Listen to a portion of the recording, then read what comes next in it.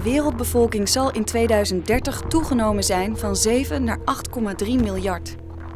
Door deze explosieve bevolkingstoename zal ook het energieverbruik toenemen. En die hoeveelheid mensen is niet het enige probleem. Want los van deze bevolkingstoename kruipen miljoenen mensen in de opkomende economieën tegenwoordig onder de armoedegrens vandaan. Op zich is dit natuurlijk een hele goede ontwikkeling. Het geeft wel extra druk op de energievoorzieningen. Verbetering van de leefomstandigheden brengt namelijk met zich mee dat mensen bijvoorbeeld meer huishoudelijke apparaten en auto's aanschaffen. Dit hogere energieverbruik heeft als nadelig gevolg dat de vervuiling toeneemt. Daarbij komt dat door de groeiende vraag niet alleen de vervuiling groter wordt, maar ook de prijs van energie omhoog zal gaan. De vraag zal namelijk groter zijn dan de hoeveelheid die we per dag kunnen opgraven of oppompen uit onze aarde. Het wordt dus duurder, minder schoon en we hebben niet genoeg voor iedereen. We hebben dus echt meer nodig dan alleen olie, gas of kolen om alles draaiende te houden.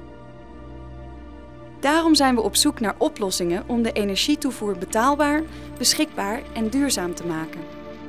Met andere woorden, het moet niet te veel kosten, er moet genoeg van zijn en het moet zo groen mogelijk zijn.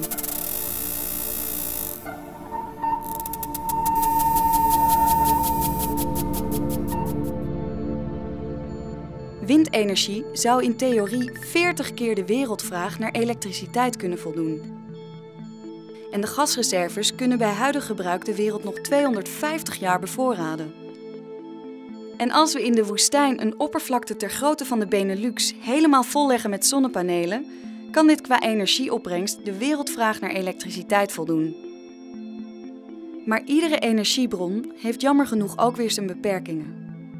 Over het algemeen kun je stellen dat we op zoek moeten naar een combinatie van betaalbare, beschikbare en duurzame bronnen. Een energiemix.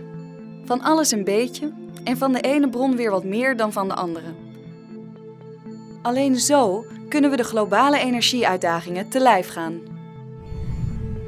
We moeten de komende jaren door een energietransitie. Oftewel, we moeten een nieuwe mix vinden van energiebronnen. Laten we een richtjaar nemen, 2030 bijvoorbeeld.